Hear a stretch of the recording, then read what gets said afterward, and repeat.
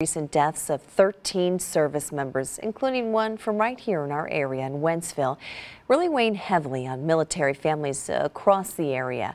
Tonight, News 4's Caroline Hecker spoke to one mother who lost her son to the war in Afghanistan in 2010 as the United States closes the chapter on the two-decade war that claimed her son's life.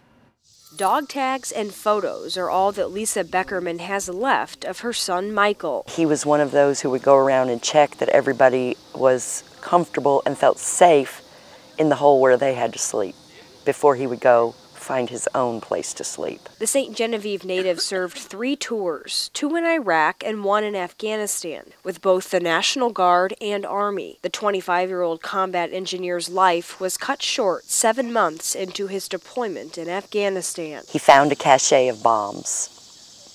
He radioed out.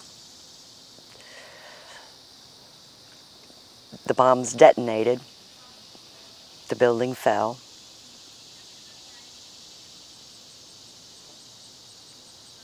My son was killed on December 31st, 2010. She found out before the military notified her in a phone call from her ex-husband. And I was like, wait, what do you mean? How bad can this be?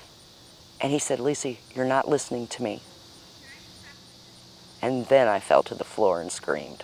Sergeant Beckerman's picture is adorned on the walls of the Missouri Military Memorial, along with other Missouri service members killed in the line of duty. Proud of the ultimate sacrifice made by her son, Lisa Beckerman worries for the families of those killed in the suicide bombing outside the Kabul airport. There's 13 more families that are going to become one of us a family that we don't want to belong to. She stepped away from social media and the news in the wake of those service members' deaths to protect her own heart. All those years living in a bubble, she says, shattered in an instant. They know what they signed up for.